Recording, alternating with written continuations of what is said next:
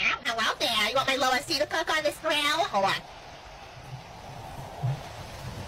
Uh-huh. Tonight's dinner's some low SC fishy platter, Peter!